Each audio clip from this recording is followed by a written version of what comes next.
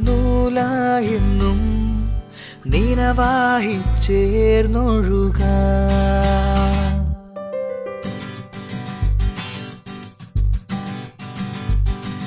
ഈ ഇടനാഴിയിൽ സ്വപ്നങ്ങളെ ഒന്നായി പങ്കുവയ്ക്കാം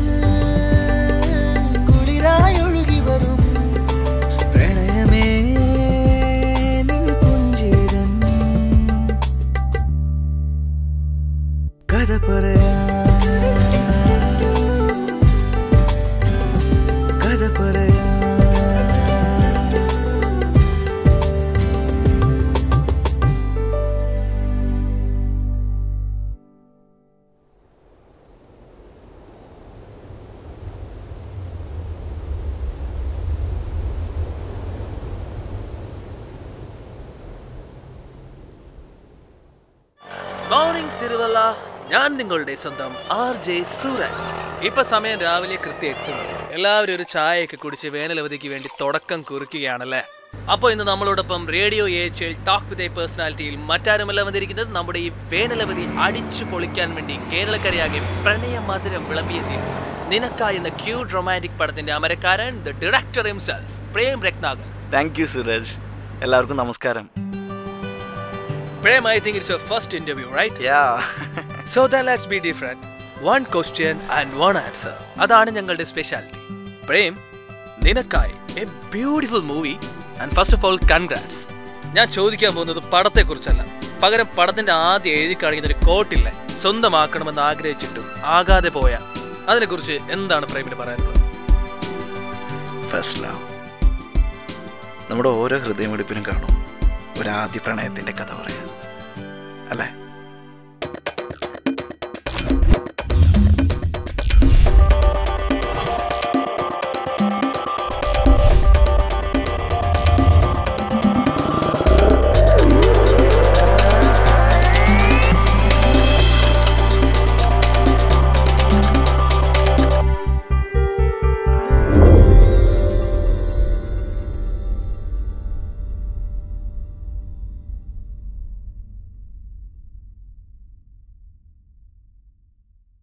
പ്ലസ് ടു ലൈഫ് ജീവിതത്തിലെ ഏറ്റവും കൂടുതൽ ആഘോഷിക്കുന്ന നിമിഷങ്ങൾ. നമ്മുടെ ജീവിതത്തിലൊരു സെക്കൻഡ് ടേണിംഗ് പോയിന്റ് എന്ന് വീട്ടുകാർ വിളിക്കാറില്ലേ അത് തന്നെ. ഓണപരീക്ഷ ക്രിസ്മസ് പരീക്ഷ മോഡൽ എക്സാം ലാബ് എക്സാം കൊല്ല പരീക്ഷ എന്നിങ്ങനെ ലൈഫ് സിലബസ് മാത്രം കുത്തി നിറച്ച് പോകുമ്പോൾ ഒരാശ്വാസത്തിന് കൂട്ടിന് കൂട്ടുകാരും പിന്നെ നമ്മൾ പോലും അറിയാണ്ട് നമ്മുടെ മനസ്സിൽ ഇടം പിടിച്ച ഒരാദ്യ പ്രണയം കാണും അല്ലേ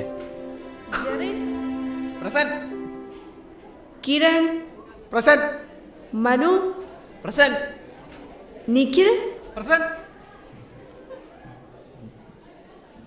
Prem Prem present ma'am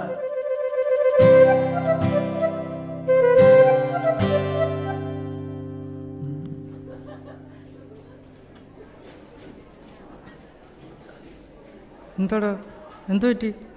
ഒന്നുമില്ലടോ. യാ ഇവനെന്തോ പറ്റിയിട്ടുണ്ട്. ഒന്നുമില്ല. പ്രേം ഗെറ്റ് ഔട്ട്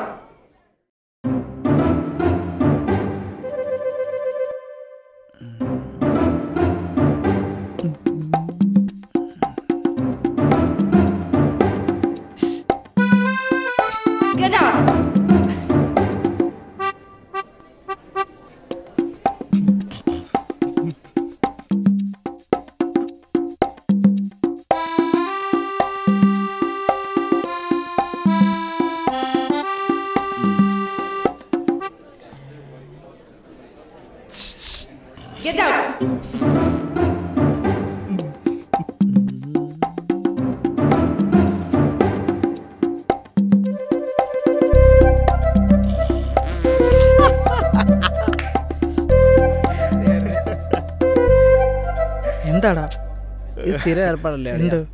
ഈ ഗെറ്റ് ഔട്ട് അടി. ക്ലാസ്സിനകത്തിരുന്ന നീ അങ്ങ് മല മറിക്കുന്ന പോലെ. ഇത് പോടറക്ക എന്താ? അതല്ലടാ. ഏത്? ഞാൻ ആലോചിക്കായിരുന്നേ. എന്ത്? എത്ര നല്ല സ്ഥലമല്ലേ ഇത്? അതെ അതെ. എന്താന്ന് വെച്ചാലേ ഒരു പരിചയമില്ലാത്തൊരു കുട്ടി. ആ. ഒരു പെൺകുട്ടി. അളിയ അളിയ ഒരു വട്ടം കൂടെ ആ കഥ പറയരുത്. അത് കേൾക്കാനുള്ള ത്രാണി എനിക്കില്ല. നീ കേക്ക്. എന്റെ പൊന്നളിയാ വീട്. ഞാൻ പറയും. എടാ എടാ നമ്മുടെ പ്ലസ് വൺ തുടങ്ങിയപ്പോൾ തന്നെ ആ പൊട്ടൻ അഭിജിത്ത് വന്ന് നമ്മളോട് അവളെ പറ്റി പറയാനും അത് കണ്ടിട്ട് പിറ്റേ ദിവസം ഒരു പരിചയമില്ലാതെ അവളെ എന്നോട് എന്തിനാ അവൻ പറഞ്ഞതൊക്കെ കേട്ടെ? അതൊക്കെ കള്ളാന്നൊക്കെ പറയണമെങ്കിൽ എന്തോ ഒരു ഇതില്ലടാ. ഓ അതിലെന്തോ ഒന്നില്ലടാ. വിഷ്ണു! എടാ എടാ എന്ത് സുന്ദരിയാടാ അവൾ. സുന്ദരിയൊക്കെ തന്നെ പക്ഷെ നിന്നെക്കാളും ഹൈറ്റ് ഇല്ലേ അവക്ക്? എന്തായാലും സുന്ദരിയാണോ? She is. ദേർഷിയല്ല യെസ് ഷീസ് അതല്ല. There she is.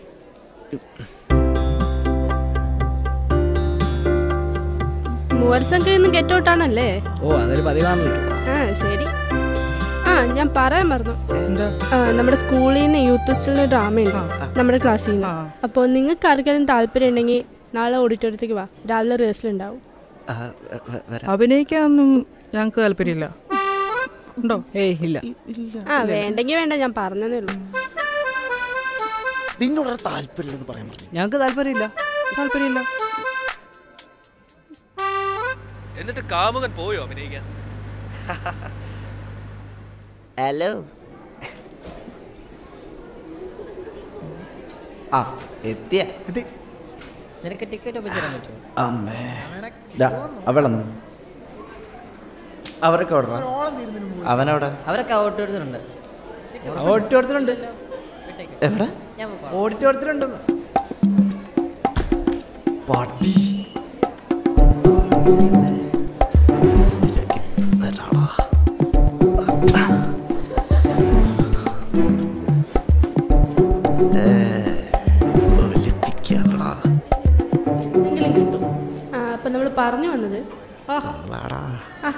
നീ ഓ.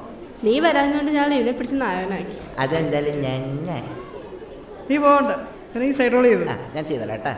പറ പറ. എടാ നമുക്ക് ആ പ്രപ്പോസൽ സീൻ ഒന്ന് നോക്കാം.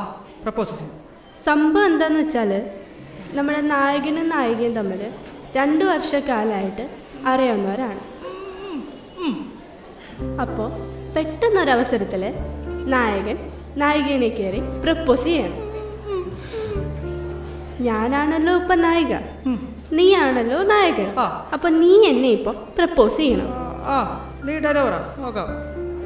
ഡയലോഗൊന്നും ഞാൻ എഴുതിയിട്ടില്ല. അത് നീ കഴിഞ്ഞിട്ട് പറയണം. പ്രപ്പോസ് ചെയ്യണോ? ഞാനോ? അത് നിനക്ക് എന്നെ കാണുമ്പോ ഇഷ്ടം തോന്നിയിട്ട് എന്ത് പറയോ അത് പറ. എന്നെയൊക്കെ നോക്കി പ്രപ്പോസ് ചെയ്യാന്ന് വെച്ചാ എങ്ങനാടി? ഞാൻ- ഞാൻ പറഞ്ഞു. എന്താ എടാ, നീ ഈ സർക്കസ് scene ഒന്നും നടത്തില്ല. Romantic scenes.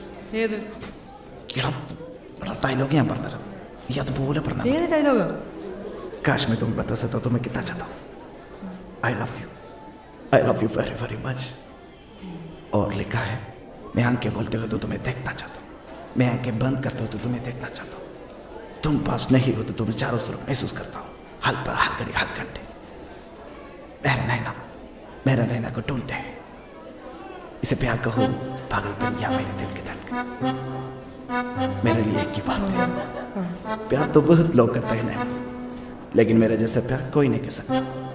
क्योंकि किसी के पास तुम जो नहीं मैं तुम्हें भूल नहीं सकता नहीं मैं तुम्हें भूलना नहीं चाहता। तुम मेरे हो। मैं तुम्हें ज़िंदगी पर प्यार करूँगा और मरने तक पर प्यार करूँगा। इसके बाद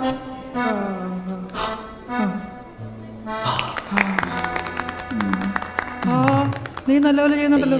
എന്നാ പിന്നെ നിനക്ക് തന്നെ ചെയ്തൂടെ? അയ്യോ വേണ്ട. നമ്മൾ സൈഡിലുണ്ട്. നമ്മൾ രണ്ടാണല്ലോ ഒരുപോലെ അല്ലേടാ നീ ചെയ്യ്. ചെയ്യ്. പ്രേം നീ ചെയ്യ്.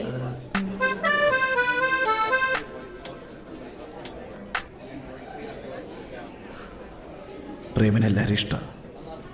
പക്ഷെ പ്രേമി ഇതുപോലെ ആരും ഇഷ്ടപ്പെട്ടിട്ടില്ല. ഇഷ്ടമാണ്.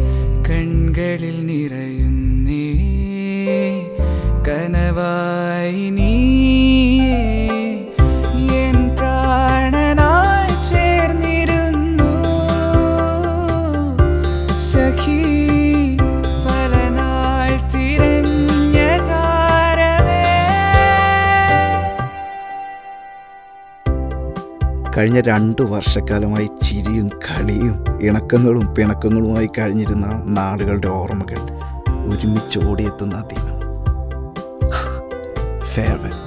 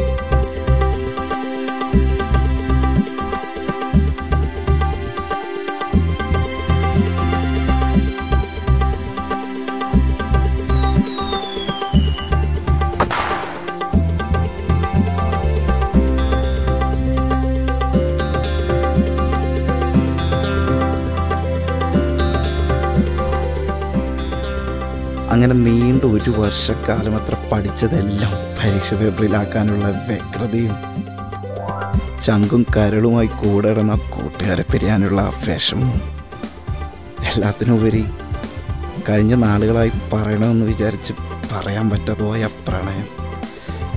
തുറന്നു പറയാനുള്ള ദിനം എന്റെ ദൈവമേ.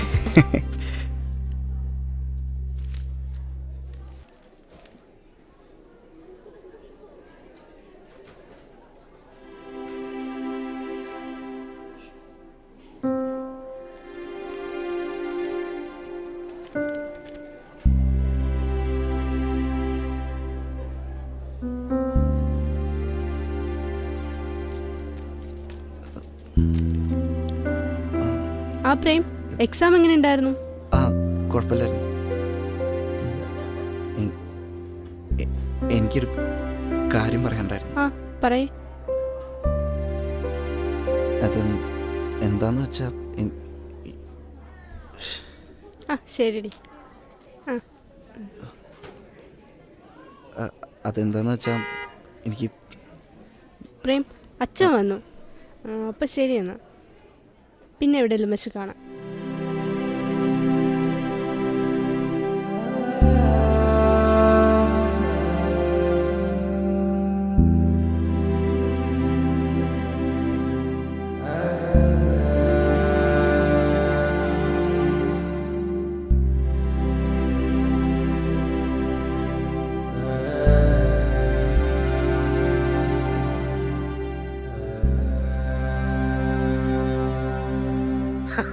അപ്പൊ പ്രേം ഇപ്പൊ എവിടെയാണോ ഉള്ളത്?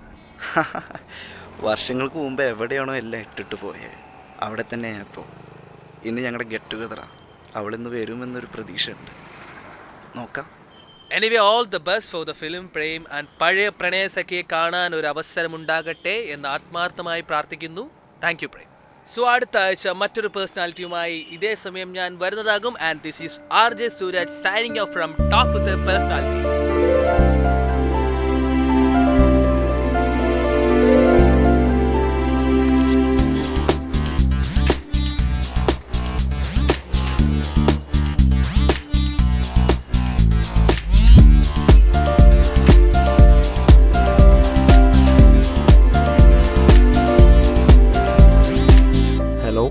ഞാനിവിടെ എത്തി. നീ എവിടെ? നേരത്തെ എത്തിയോ? വളരെ നന്നായി. നീ കാര്യം പറ. എടാ ഞാനിവിടെ അകത്തുണ്ട്. നീ അകത്തേക്ക് വാ. എല്ലാവരും എത്തിയോ? ആ നിന്റെ ആ എല്ലാരും എത്തിയിട്ടുണ്ട്. ശരിടാ ഞാൻ ഇപ്പോൾ വരാം.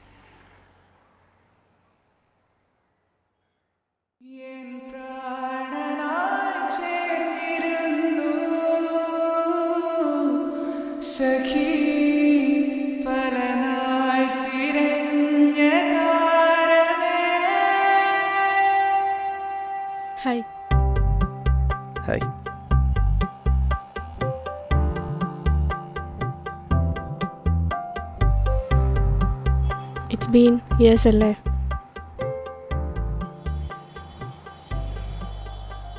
സിനിമ ഞാൻ കണ്ടായിരുന്നു.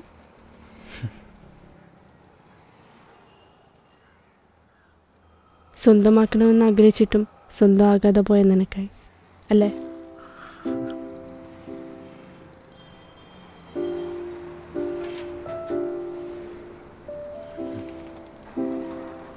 എനിക്കറിയായിരുന്നു പ്രേം. നിനക്കെന്നെ ഒരുപാട് ഇഷ്ടമായിരുന്നെന്ന്. പക്ഷേ എന്താ പറയാ? ചിലപ്പോൾ എന്റെ പ്രായത്തിന്റെ ആയിരിക്കും. അല്ലെങ്കിൽ പക്വത കുറവിന്റെ ആയിരിക്കും. അന്നത്തെ അവസ്ഥയിൽ എനിക്കത് മനസ്സിലാക്കാൻ പറ്റിയില്ല. നമുക്ക് രണ്ടുപേർക്കും പരസ്പരം ഇഷ്ടമായിരുന്നെന്ന് ഞാൻ മനസ്സിലാക്കിയപ്പോഴേക്കും നമ്മൾ രണ്ടും രണ്ടകലങ്ങളിലായി കഴിഞ്ഞിരുന്നു. നിന്നെ കോണ്ടാക്ട് ചെയ്യാൻ എനിക്ക് എളുപ്പമായിരുന്നു. പക്ഷേ എന്തോ എനിക്കത് കഴിഞ്ഞില്ല. ഞാൻ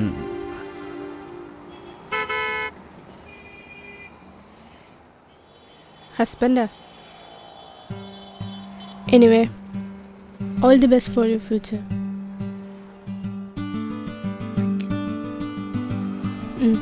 പിന്നെ കാണാം.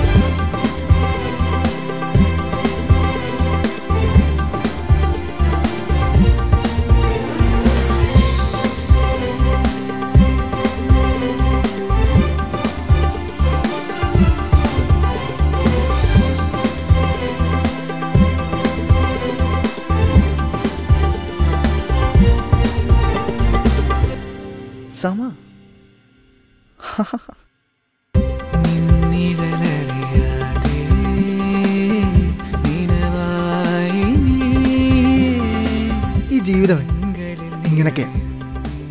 ചില ആഗ്രഹങ്ങൾ നമ്മൾ എത്ര ആഗ്രഹിച്ചാലും അതിപ്പോ എത്ര തന്നെ ക്ലീശയായ കൂടി നമുക്ക് കിട്ടില്ല.